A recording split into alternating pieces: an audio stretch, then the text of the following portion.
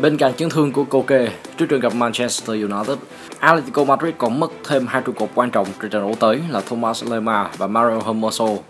Vì chấn thương nên khả năng ra sân của bộ đôi này trước Man United cũng không chắc chắn.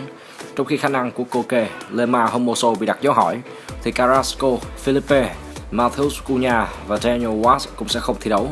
Yannick Carrasco và Felipe bị treo giò, còn Matheus Cunha và Daniel Watts gặp chấn thương.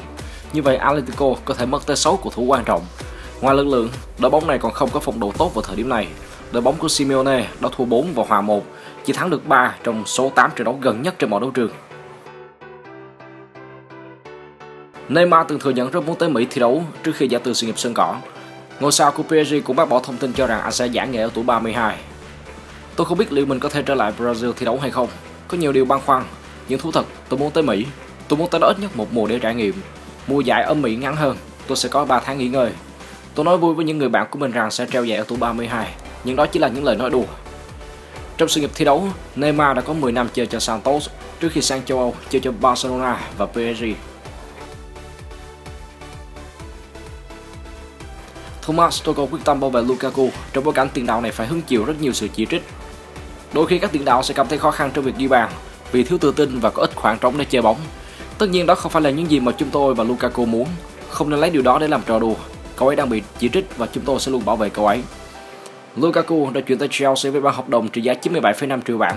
Mặc dù vậy, Lukaku vẫn chưa thể đáp ứng được kỳ vọng. Sau 28 trận trên mọi đấu trường, Lukaku mới chỉ có 10 bàn thắng. Chia sẻ với Sport, Aubameyang thổ lộ muốn sát cánh cùng Erling Haaland và sẵn sàng cạnh tranh vị trí với tiền đạo người Na Uy nếu như tiền đạo này chuyển đến Barcelona. Tôi sẵn sàng cạnh tranh lành mạnh với các đồng đội của mình và thật vinh dự nếu được thi đấu bên cạnh Haaland. Haaland là một cầu thủ rất xuất sắc của thế hệ này. Cậu ấy ghi rất nhiều bàn thắng.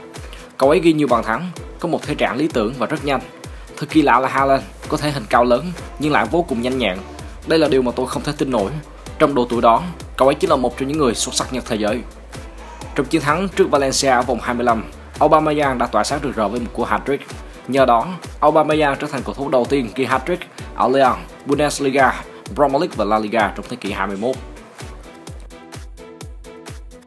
Theo 442, Abstract, Man United sẽ cho phép Ronaldo ra đi vào kỳ chuyển nhượng mùa hè nếu như tiền đạo người Bồ Đào Nha mong muốn. Ban lãnh đạo cho rằng tương lai của Ronaldo phụ thuộc vào việc rất nhiều đội bóng này có giành vé dự Champions League mùa tới hay không. Việc không có vé dự Champions League sẽ ảnh hưởng trực tiếp đến thu nhập của những cầu thủ mùa tới. Điều này khiến cho tham vọng chinh phục những danh hiệu cá nhân của Ronaldo bị ảnh hưởng theo. Theo Abstract, CR7 gần như chắc chắn ra đi nếu Man United xuống chơi Europa League hay Conference League. Anh vẫn còn hợp đồng với Man United đến năm 2023 Tuy nhiên những gì diễn ra trong lần trở lại của tiền đạo người Bồ Đào Nha đã không được như ý. Cựu cầu thủ U23 Nigeria Osani Ganiyu Bolaji trở lại khoác áo câu lạc bộ Hà Nội sau khi huấn luyện viên Park Jong-kyun từ chức hôm 19 tháng 2. Anh từng chơi bóng hai mùa cho câu lạc bộ thủ đô. Osani là cái tên đã quá quen với những người hâm mộ V-League. Anh từng chơi bóng ở đây từ năm 2011. Lối chơi mạnh mẽ, giàu thể lực và sức mạnh đã từng tạo nên thương hiệu cho cựu tiền đạo của CSKA Moscow Lúc này Osani đã không còn như trước. Tiền đạo người Nigeria đã bị đứt dây chằng chéo khi cùng Hà Nội vào đến bán kết AFC Cup 2019. Sau đó, anh và đội bóng này chia tay nhau trong im lặng. Tháng 7 năm 2021, Osani trở lại Việt Nam theo tiếng gọi của câu lạc bộ Sài Gòn. Anh suýt khoác áo đoàn quân ông Phùng Thanh Phương để giúp đội trụ hạng. Tuy nhiên, giải đã bị hủy vào tháng 8 nên Osani không phải ra sân.